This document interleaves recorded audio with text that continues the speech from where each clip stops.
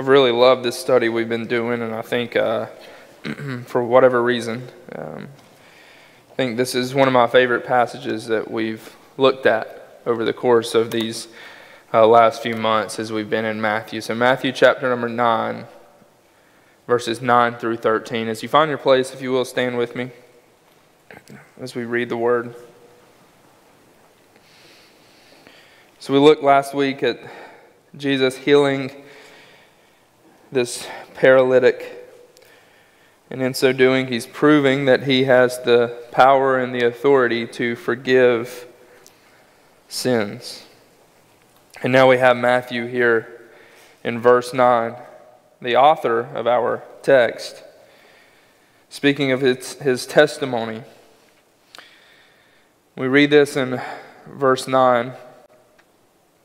And as Jesus passed forth from thence, from healing the paralytic, he saw a man named Matthew sitting at the receipt of custom, and he said unto him, Follow me. And he arose and followed him. And it came to pass, as Jesus sat at meat in the house, behold, many publicans or tax collectors and sinners came and sat down with him and his disciples. When the Pharisees saw it, they said unto his disciples, Why eat your master with publicans and sinners? But when Jesus heard that, he said unto them, They that be whole need not a physician, but they that are sick. But go you and learn what that means. I will have mercy and not sacrifice. For I am not come to call the righteous, but sinners to repentance. Listen to that last verse I have not come to call the righteous, but sinners to repentance. Let us pray. Father, pray this morning that you would re- reveal to us Jesus clearly so that we may see his purpose in coming, so that we may see ourselves rightly And that in seeing the contrast between who we are and who Jesus is, we we will see ourselves as the sinners that we are and Jesus as the Savior that He is. And we pray these things in Christ's name. Amen. So last week we discussed the truth that Jesus, He came for a purpose. Right? He came for a purpose. And that purpose was what? Ultimately, overarchingly, that purpose was to forgive sins. We looked at the compassion that he extends in offering forgiveness to us. We looked at the authority that he has to actually uh, forgive people, that, it, that it's an actual reality in their lives. When Jesus says, You're forgiven, what are you? You're forgiven, right? He has the authority to say that. We also saw a group of people that, that disputed Jesus' words, calling his claims blasphemous. They didn't believe that Jesus actually had the right nor the authority to forgive sins. We're going to be introduced to these individuals again in our passage uh, this morning. This time, Jesus is going to forgive the author of our gospel here, Matthew, a Jewish tax collecting thief and traitor in the eyes of his peers.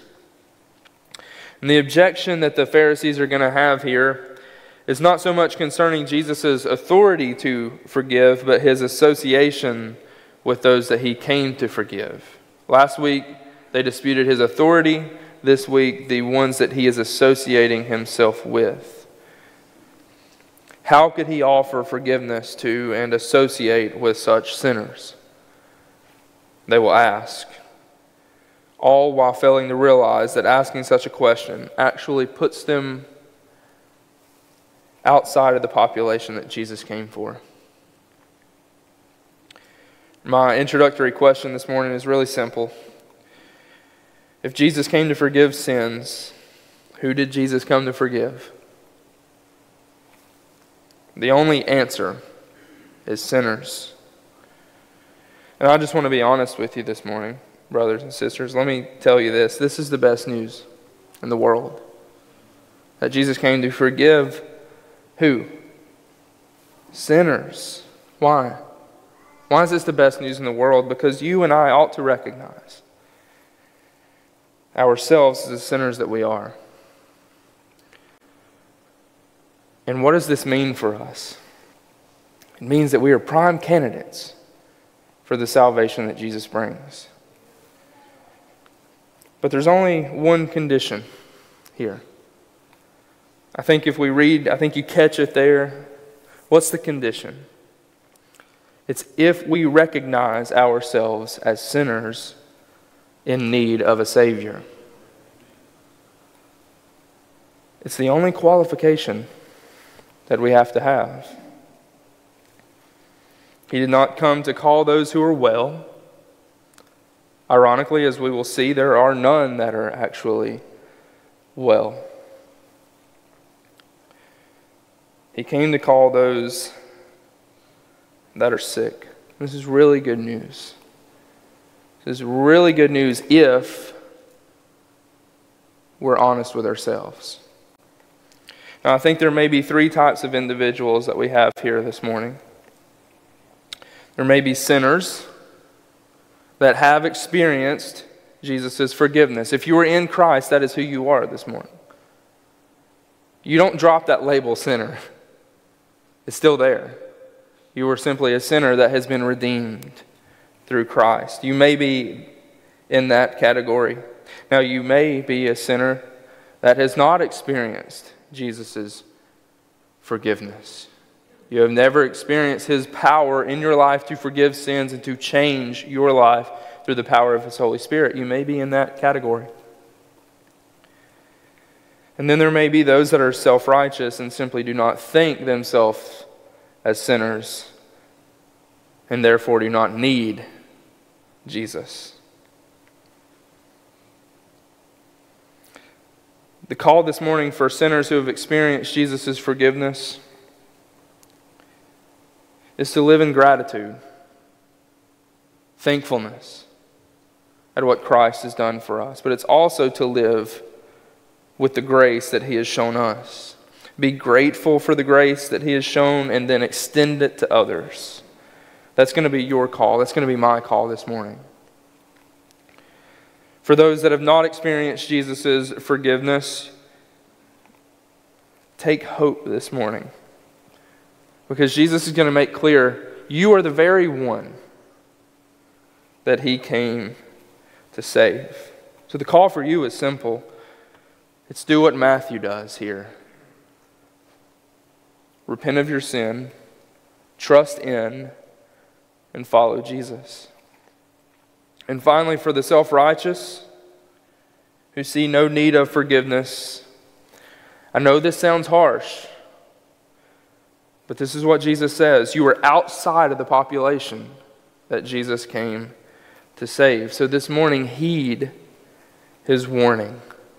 And the call for you is to repent of your sin as well, to trust in and follow Jesus. We'll dive into some application in just a few moments as we get into the text. But now, as we move forward into verse 9, consider who you are. Consider what group you find yourselves in. We read this in verse 9. As Jesus passed forth, he saw a man named Matthew sitting at the receipt of custom. And he said unto him, Follow me. And he arose and he followed him. So Jesus moves on from his forgiveness and healing of the paralytic. He passed on from there, still presumably near Capernaum. And he saw this tax collector, sitting at his tax booth. Now, right off the bat, we need to identify Matthew as the writer of this gospel. There's no confusion here. He is the writer of this gospel that we're reading. Before his conversion, however, Matthew was a tax collector. Now, that may not really seem too important for us in our context. I know as we're ending this tax season, we've tried to get all these things together. Um, we may not feel too highly about those that collect our taxes as well. But there were some very hard feelings. There was a deep hatred that ran towards tax collectors in Jesus' day. You see, Matthew was a Jewish man who, in Mark, is actually identified with a second name, that of Levi. It's quite possible, given that second name that he had, that he was a Levite who would have been acquainted with Jewish tradition, who would have been part of those that were separated for service to God. Whether or not that's true or not, Matthew was certainly not serving God in his current occupation. Tax collecting was not a noble uh, job. They were known to charge more uh, than was required. Where he was at, he was probably, uh, uh it was tax on uh, imports, things that were coming in and going out. So he'd collect more in order to pad his own pockets, right? In order to make himself rich. We're going to see that Matthew was, in a way, a, a very, very wealthy uh, man. And on top of this thievery, what else would they do? Matthew's Jewish peers would despise him for his role in supporting the oppressive Roman government. So, those that uh, the Jewish people saw as enemies in their sight, what was this Jewish man doing? Helping them out, right? He was supporting them and also stealing at that. He would be in their eyes a traitor. And then, if thievery and treachery are not enough, Matthew would no doubt be in close contact with Gentiles in this trade that he found himself in. That would make him ceremonially defiled due to his relations with them. So he really had a lot of things going against him. To the Jews, he was a traitor. To the Pharisees, he was a sinner. To the Romans, he was a pawn in their empire. But to Jesus, Matthew was a prime candidate for salvation. Do we see that? Do we see that distinction here? To the Jews, he was a traitor. To the Pharisees, a sinner. To the Romans, just simply a pawn in their evil empire. But to Jesus, what was he? A prime candidate for salvation. It's not that Jesus didn't know all this about Matthew. In fact, he knew Matthew better than anyone knew Matthew. But all that he knew about Matthew was what uniquely qualified him to hear that call from Jesus Follow me. As we will see later, it is the sick who need a physician. All those things that would put Matthew on the outskirts of society is what led to Jesus' call follow me. Matthew records nothing other than the fact that at Jesus' call, he rose up and he did what? He followed Jesus. He left that old life behind, a fairly wealthy life, a comfortable life. And it was a life that he couldn't return to. Once he, once he betrayed that occupation, there was no way he was going to go back. He left it all and he followed Jesus. What a testimony we have here, right?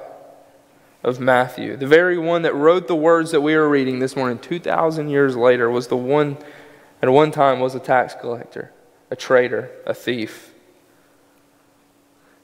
It just goes to show what a, what a change following Jesus makes. It wasn't immediate, certainly. It was gradual. But we see the change. I think it implies, I think it's implied here that Matthew repented of his sins here. It doesn't say that, but I think it's implied.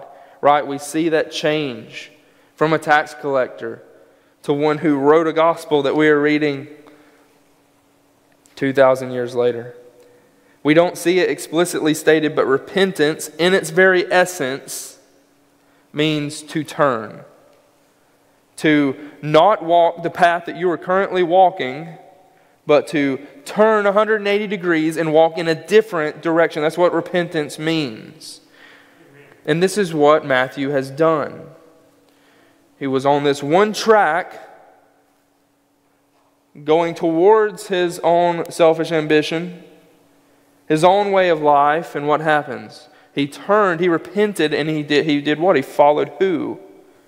Jesus. That's the call. It's very, very simple. We make salvation very, very much too hard, oftentimes. The call was to follow. The call was not, Matthew, get your life together. Clean up, do all these things, and then follow me. I'll come back in a couple of months when you have everything together, and then if you've, if you've, if you've got it cleaned up enough, then I'll come along and help you, and you can follow me after that. No, the call was very, very simple. It was Matthew, now. right this minute, follow me. And Matthew followed. There's a sense in which I think the call for those who have never experienced Jesus' forgiveness is to simply, at his command, follow. You're to repent of your life of sin, certainly. But as you follow Jesus, you will progressively become more like him. Again, I think it's sometimes we make it way too hard to follow Jesus. It is hard in the sense that it calls us to leave our old life behind, but notice the simplicity in Matthew's call. The call, again, is not for Matthew to jump through a bunch of hoops. It's simply to follow Jesus and learn from him. In other parts, Jesus says, Take my yoke upon you and learn from me, for I'm gentle and lowly in heart.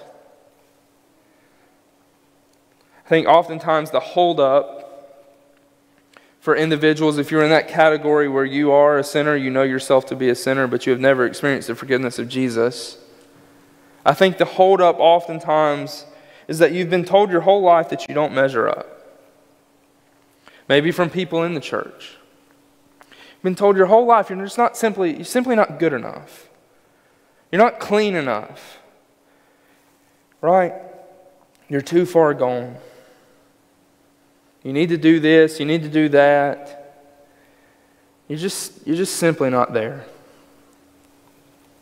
The result of this kind of evangelism, this kind of preaching, is devastating.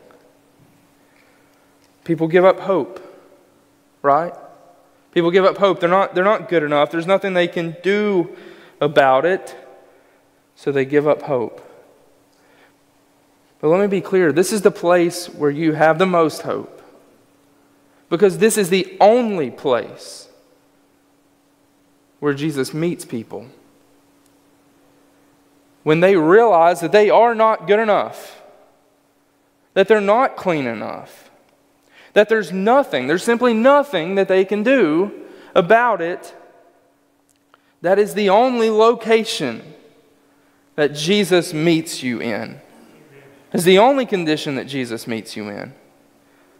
Look, we try to run from Jesus in many different ways. We try to run from Jesus by being good and not thinking that we need his salvation, but we also run in many ways by being bad.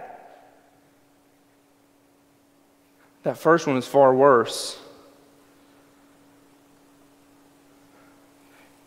Understand, when you get to the end of hoping in yourself, your own goodness, your own status, that's a good place to be in. Because it's only in that condition that Jesus comes and meets you. And what we see next, I think, reveals to us that this was not just a one off for Jesus. Matthew didn't just come to this lonely sinner, or Jesus didn't come to Matthew, this lonely sinner, and simply nobody else. Moreover, it was not that Jesus simply forgave Matthew and had no intentions of a life with him. What we see next is that Jesus actually goes with Matthew to his home to meet with him, to eat with him, to meet with his friends, to eat with his friends who were described as tax collectors and sinners. Dane Ortlund, in his book Gentle and Lowly, he talks about, I don't have the exact quote, but he talks about how oftentimes we view Jesus as salvation as a little kid touching a bug. They're hesitant, right? Because that bug is nasty, it's slimy, it's dirty.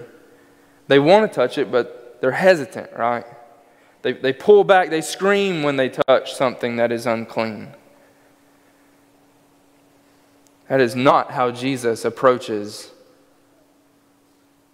us. That is not how Jesus approaches the unclean. He is not scared to reach out to those that society despises. What does he do? He comes before them and he eats with them. We see it in verses 10 through 11. Mark and Luke Both record that Jesus, he goes to Matthew's house, and Matthew simply uh, implies it in his gospel. But it's there, Matthew tells us that Jesus, he reclined at the table in the house. He reclined there, he ate with these individuals. And behold, many tax collectors and sinners came and were reclining with Jesus and his disciples. I think we have a tendency to read this and think, well, Jesus and his disciples must have been really uncomfortable in that morning or in that moment, right? Reclining with all these tax collectors and sinners, reclining with the bad crowd, the people that society doesn't really like. Almost in the sense that Jesus didn't really want to be there, he just felt obligation to be there. We have no hint of that here in Matthew's gospel. There's no hesitation, there's no lack of desire on Jesus' part. In fact, the language suggests intimacy here. To recline at table, to share a meal with someone or a group of people, is a sign of intimacy, a sign of association, a sign of relationship. In other words, we can say it like this Jesus and his disciples were not ashamed, they were readily available to identify themselves with the very ones that society deemed undesirable. And we know this to be true. The gospel writers, they record other occasions where Jesus does the same thing. Right? Luke, before recording the parable of the prodigal son, he mentions that the Pharisees and the scribes were upset. And then he tells that parable. Why were they upset? because the tax collectors and the sinners were drawing near to Jesus. There was something about Jesus that drew them near. Why? Because he would receive them, he would eat with them. He didn't treat them like society treated them. Luke also records for us Jesus' interaction with another tax collector, Zacchaeus. We know him as the, the, the wee little man, right, that climbed up in the tree. Jesus calls Zacchaeus to come down from the tree. And why? Jesus says, I must eat at your house tonight.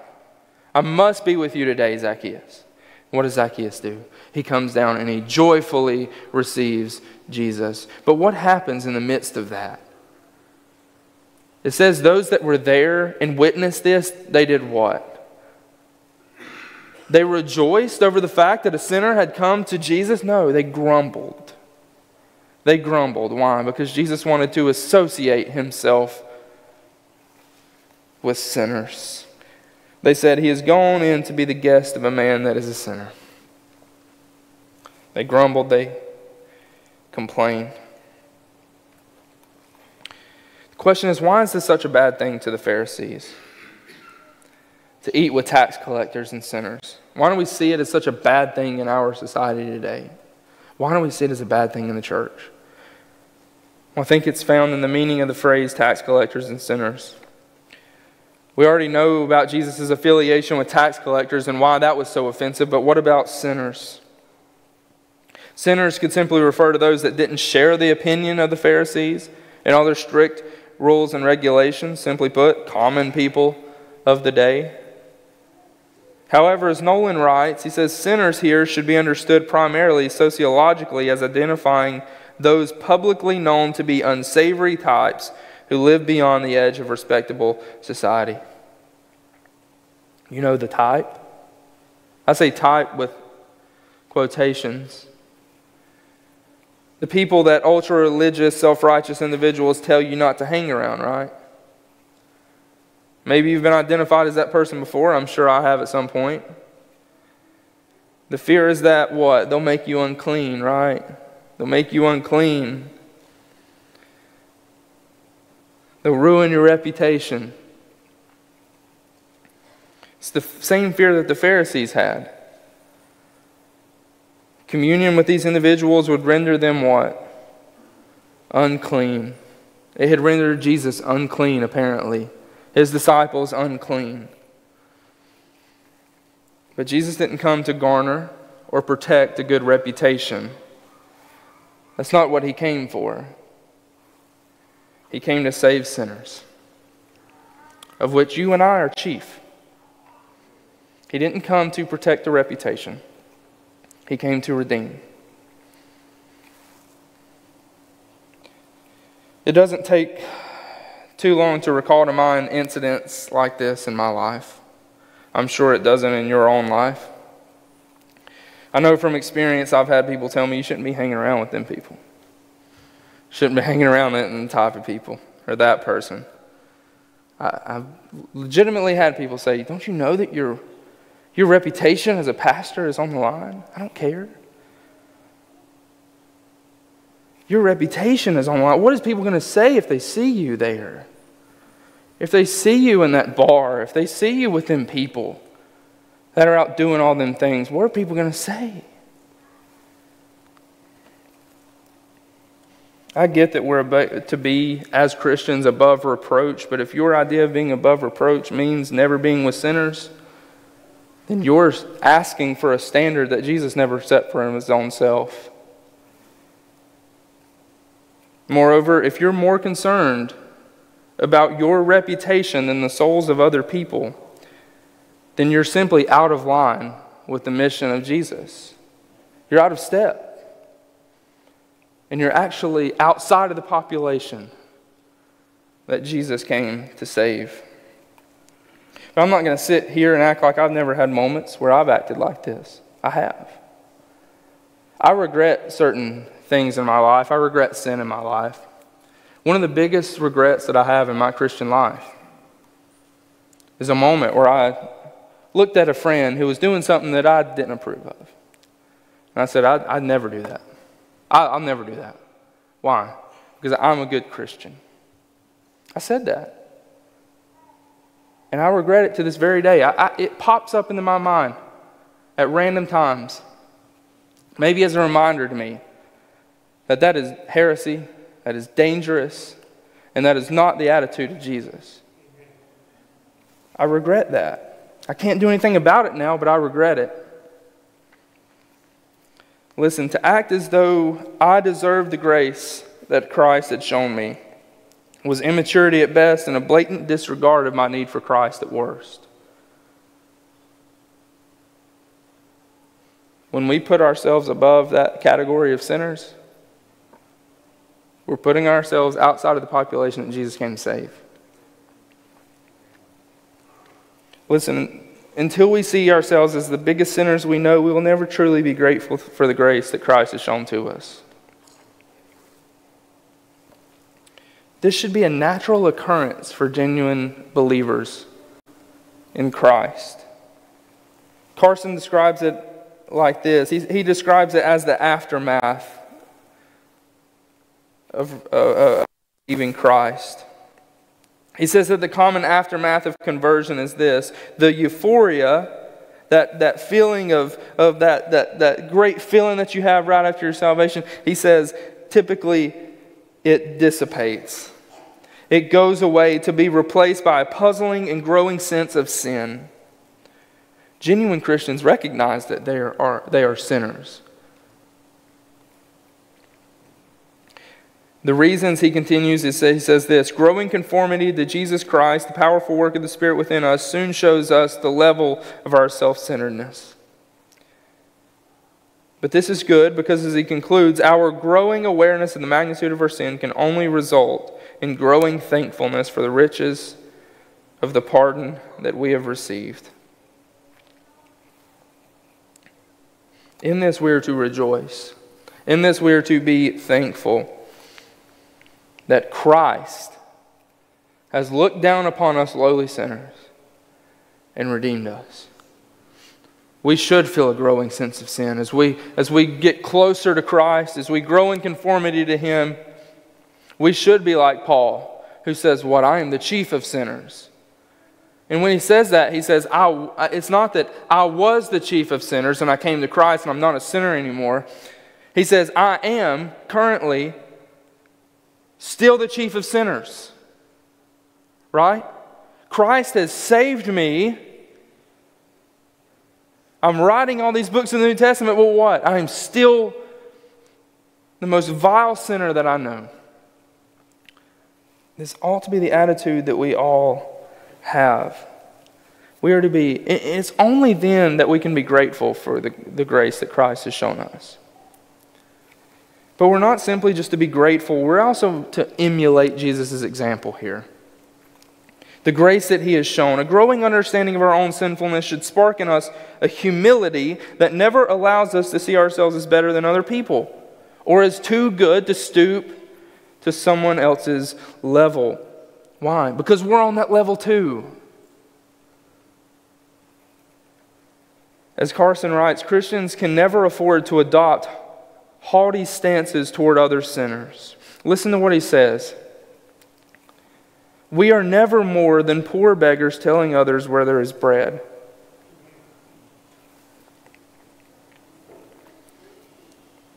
When we feel like we deserve that bread, we haven't experienced Jesus. We are never more than poor beggars telling others where there is bread. And I want to be clear here when I say hanging around people that may not be our brothers and sisters in Christ, these people that maybe the self righteous don't deem appropriate for us to hang out with. Let me be clear. I'm not saying that we do this in a sneaky, sort of bait and switch way, where the only reason we're there is that hopefully they'll come to know Christ. That's part of it. We want to see people come to know Christ. But if you don't genuinely love and care for someone, regardless of whether or not they ever come to know Christ, they're going to see right through that. They're going to see right through that. The goal is not to love people with ulterior motives, the goal is to love people, period.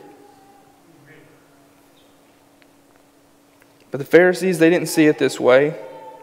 They were righteous in their own eyes. They would not stoop to the level of tax collectors and sinners. But it's in this that we see their ultimate problem. Their ultimate problem. This is perhaps the most dangerous position that one can be in. This position of, I've been going to church for 30 years. I don't miss Sunday school. I've read through the Bible, I don't know how many times at this point. But you can still go out and gossip about people, still go out and shame other people, still go out and have sin all throughout your life. That's a dangerous position to be in. Thinking that you are justified but you're justified simply in your own eyes.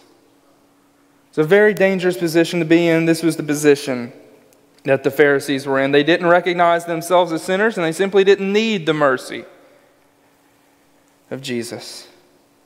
They asked Jesus' disciples, Why does your teacher eat with tax collectors and sinners? Jesus overhears it and he responds, Those that are well, they don't need a physician. Who needs a physician? Who needs to go to the doctor? When do you go to the doctor? You go when you're what? When you're sick. Jesus says, Go and learn what this means. I desire mercy and not sacrifice, for I am come to call the righteous, or not the righteous, but sinners. According to the Pharisees, they were simply not to be categorized with the sinners. They were the good guys. They were the ones that knew more Scripture than anybody else, right? Moreover, they obeyed Scripture better than anybody else. They did the right things, they said the right things, but none of them ever came to the same conclusion that Paul did. Paul tells us multiple times, he tells us in Philippians, if anyone can boast in the flesh, it's me. Right? Paul says, if anyone can do it, I can. I am better than all the Pharisees. I'm a better Jew than all the Jews, right? He, he says, I am all of these things, but what does Paul come to the conclusion? Whatever gain I had, I counted all as loss. Why? For the sake of Christ. Not having a righteousness of my own that comes from the law, but that which comes through faith in Christ. Paul knew that he needed a deeper righteousness. He needed an inner righteousness. He needed a righteousness that was of not himself. He needed a foreign righteousness, an applied righteousness. He needed Jesus' righteousness. But the Pharisees, they had their own righteousness, which in their eyes was simply good enough. They didn't need saving, they simply needed validation from Jesus that they were good enough, right? That was their idea of a Messiah that would come, crush sinners, and validate the ones that were good enough But they're not going to find that validation from Jesus. This attitude, in fact, is precisely what disqualified them from experiencing Jesus' forgiveness and salvation. Jesus tells them, They that be whole need not a physician. Jesus is referring here to the Pharisees when he say, they, says, says, Those that be whole. And then later on, when he says, I am not come to call the righteous but sinners, he is categorizing the Pharisees with the righteous. So it seems odd on the surface. It seems like Jesus is saying that the Pharisees are somehow genuinely righteous apart from Jesus, but this is simply not what Jesus is saying. Elsewhere, we see Jesus' statement concerning the insufficiency of the Pharisees' righteousness. Matthew 5 20, Jesus says this Unless your righteousness exceeds that of the scribes and the Pharisees, you will in no wise enter the kingdom of heaven. You need a, a greater righteousness, a different righteousness than the ones that the scribes and the Pharisees have. So, what is Jesus saying? Jesus is simply pointing out the view that the Pharisees have of themselves. Right? And in their self designation of righteous and not sinners, they exclude themselves. Why is this? Because he came for who? The sick. He came for sinners only. Truly, the Pharisees are sinners as well, and Jesus knows this. There's not two categories of people here sinners and non sinners. There's only one category of people in this world. If you are a human, you are in that category of sinners. That's what David said, wasn't it? Behold, I was shapen in iniquity, and sin did my mother conceive me. We read throughout Scripture that there is none that is that are righteous. No, not even one. Paul tells us about how through Adam sin passed to all mankind. If you are a human, you are in that category of sinners.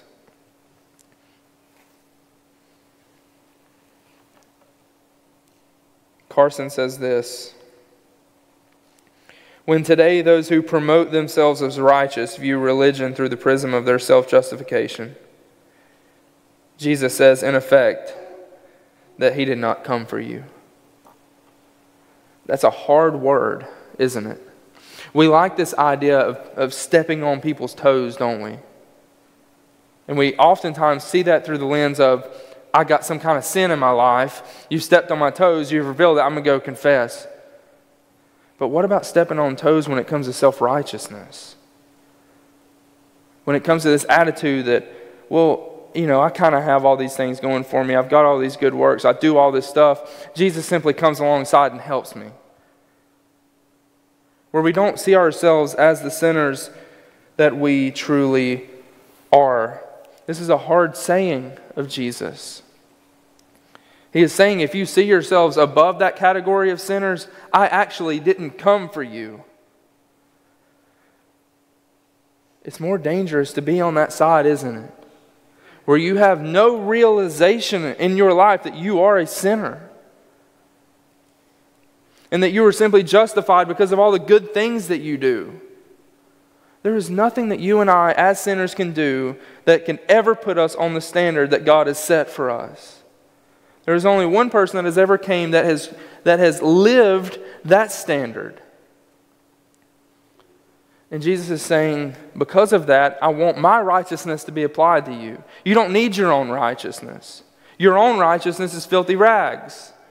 You need my righteousness. It's interesting how Jesus rebukes the Pharisees here. These are individuals who should know the scriptures, right? Who claim to know the scriptures. And Jesus says, Go and learn the scripture. Go and learn what it means. And he quotes Hosea 6 6 I will have mercy and not sacrifice. What is, what is he talking about here? Well, if we, if we remember Hosea, Hosea uh, was a prophet, and God told him to marry what? Or who? Gomer, who, who was what? In the, in the scripture, it says a wife of whoredom. What this means is she was a prostitute. Gomer was to marry her, to be faithful to her. Why? Because it pictured the relationship that God had with Israel. God was a covenant keeping God. He was going to remain with Israel, regardless of the fact that they go out and worship other gods. And what are they doing in the midst of all this? They're coming to the temple, they're making their sacrifices, they're doing all these things that, that God's told them to do. But God is essentially saying, You're missing the point. These sacrifices that you were doing, all these things that I've set for you, is in order that you may know me.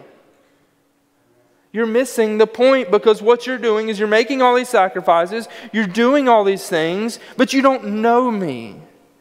And if you did, you wouldn't go about whoring after these other gods that, in fact, are actually not gods. This is what Jesus is saying to the Pharisees here. You say you do all these things, but you don't know me. You don't know me. You have no inner righteousness.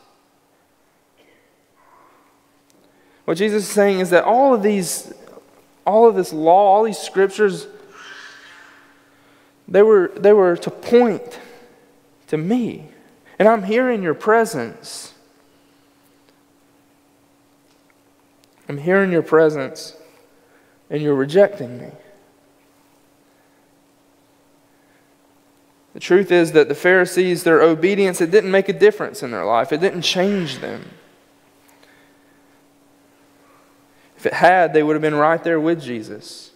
They would have been right there eating alongside of the sinners, of which they would recognize themselves to be the biggest sinners.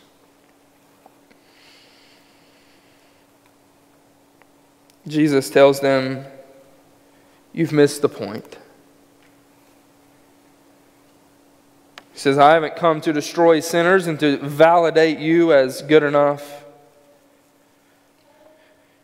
In fact, all have sinned and fall short of the glory of God. Therefore, all are in need of mercy, even you yourselves.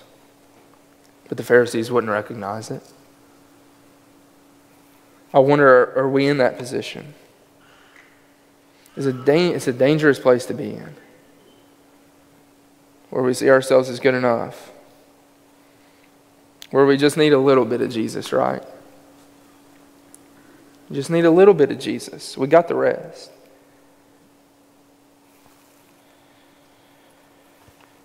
I want to conclude by looking at John chapter number 8. So I think what we can sometimes get confused with here is that we often think what I'm saying in all this, what Jesus is saying in all this, is that he goes in with these tax collectors and sinners and he validates them. That he says it's okay what you're doing. And that he sort of joins in on it, right? And he reveals to them that there's no sort of need for, for a change in life in their own life. But this is simply not so. I think in John 8, 1 through 11, we have a good understanding of the relationship that Jesus has with sinners. Again, and, and listen, when I say sinners, I'm talking about everyone. I'm not talking about a specific category, I'm talking about every single person. Let, let us, if nothing else, I know this is a rant, but if nothing else, if you go away with nothing else this morning, go away with the fact that you're a sinner. If you've been in church for 30 years, go away with the fact that you're a sinner in need of Jesus. If that's the only thing you go away with, great. If that's the only thing that you can comprehend or, or, or, take away and, and remember from this passage, is that you're a sinner in need of Jesus, that's great. So when I'm saying sinner here, I'm not speaking just about this woman here that is caught in adultery. I'm speaking also about those that would look on a woman with lust, right? We read about that a little bit in the Sermon on the Mount. Everyone needs a different type of righteousness. And listen to what he says here. Jesus went into the Mount of Olives, and early in the morning he came again into the temple, and all the people came into him, and he sat down and he taught them. And the scribes and the Pharisees, they brought to him a woman taken in adultery. And when they had set her in the midst, they said unto him, Master, this woman was taken in adultery in the very act. Now, Moses in the law commanded us that such should be stoned. But what do you say? And they were tempting Jesus here, right? This they said, tempting him, but they might have acute to, uh, might be able to accuse him. But what did Jesus do? Jesus, he stooped down, and with his finger he wrote on the ground as though he had heard them, or as though he had not heard them. So when they continued asking him, What did he say? He lifted up himself and he said unto them, He that is without sin among you, let him first cast a stone at her. And again he stooped down and wrote on the ground, and they which heard it, being convicted by their own conscience, went out one by one, beginning at the eldest, even unto the last. And who was left alone standing? The only one without sin Jesus. The only one who has any right to say what should be done to this woman. The sinless one. And what does he say to her? Listen.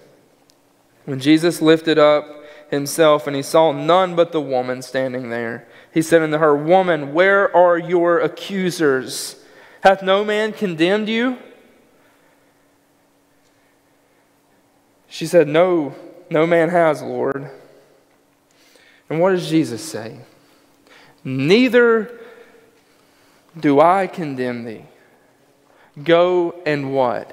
And sin no more. Go and sin no more. Why did Jesus come into this world? If you want to, flip with me to 3, John 3. Our favorite passage, John 3, 16 and 17. For God so loved the world that he gave his only begotten Son, that whosoever believes in him should not perish, but have everlasting life.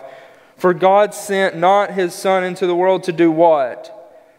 To condemn the world, but that the world through him might be saved. This morning, I don't know your condition. I don't know what category you find yourself in. But I do know that if you are in that category of sinner who is reconciled to Jesus, rejoice and be glad this morning. But go out and also show grace. Jesus was without sin, and what did he do? He went out and showed grace to sinners.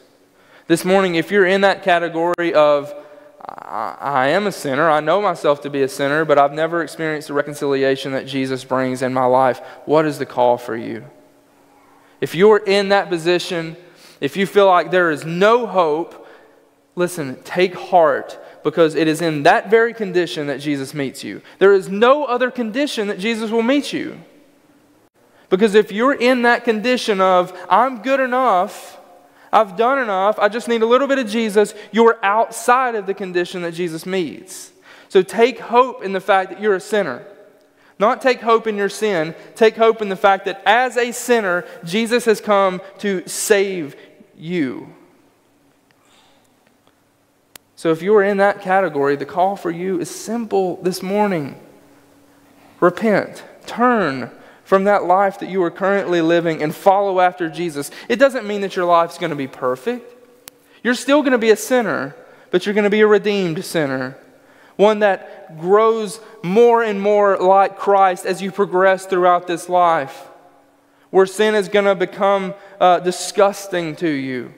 Where sin is going to gradually become more obvious in your eyes, but you will be able to gradually kill it through the Spirit. This is the change that Christ brings in a person's life. And finally, if you are in that category where you see yourself as above the need of Jesus, that is the most dangerous place you could possibly be in this morning. The call for you is to search the scriptures, to understand the fact that there is no one that is righteous. No, not one. The whole story of this Bible here, the whole story of the scripture, from the very beginning to the very end, tells a story that we humans are fallen. that we are sinful. And there is absolutely nothing that we can do to rescue ourselves. But the good news, the good news of this scripture, on every page, is the fact that even while we were yet sinners, what happened? Christ died for us. We are all in need of that. And this morning, the invitation is open. Jesus is still calling people today through the power of his Holy Spirit. And simply put, this morning, if he is calling you, don't ignore it.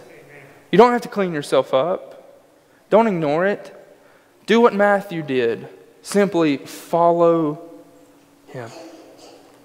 Follow him. Let's pray. Father, we thank you for your word that shows us that you are a gracious Heavenly Father. That before the foundations of the world, you had set in place a rescue plan to redeem sinners, of which we all are. God, help us never get to a position in our lives or in this church where we see ourselves as above the category of tax collector and sinner. We are in that category. And while we are in that category, that is what puts us in the position to be saved and to be sanctified through Christ. Help us not to revel in our sin or sin so that grace may abound. Help us to see the ultimate penalty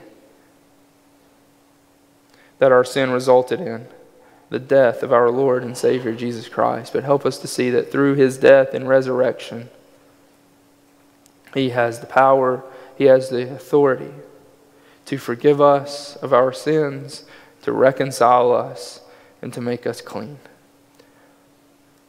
Father, we thank you for loving us. We pray these things in Christ's name. Amen.